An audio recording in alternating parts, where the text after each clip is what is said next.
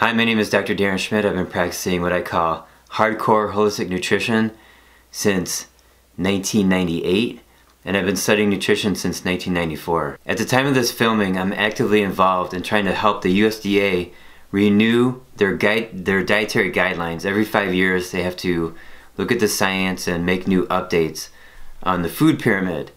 And right now, it's not going very well because there's too much industry in the Dietary Guidelines Committee. And I know this firsthand. So we have companies that use industrial seed oils and refined sugar, and they're not looking at the science. They're looking at observational studies, but that's not science. So there's a whole group of people trying to get the committee to look at the science.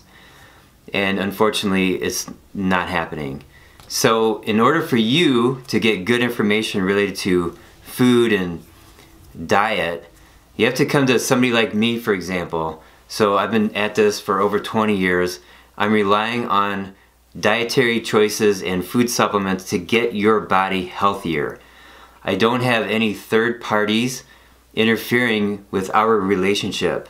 In my practice, I have people paying me for good advice and I need to get good results. There's other clinics where they give out bad dietary advice and they get horrible results but it doesn't matter because they still get paid. They're getting paid by insurance companies or by the government or by some other funders. That's third parties affecting the relationship between the healthcare practitioner and the client. I don't have any of that. So I've accumulated all this great knowledge on really good dietary advice. And so I'm releasing this blog. Click on the link below to read this blog and I talk a little bit about this in the blog, but this blog is very extensive. There's a lot of information, a lot of subjects that I hit on. And I also have this free ebook and a free online video course.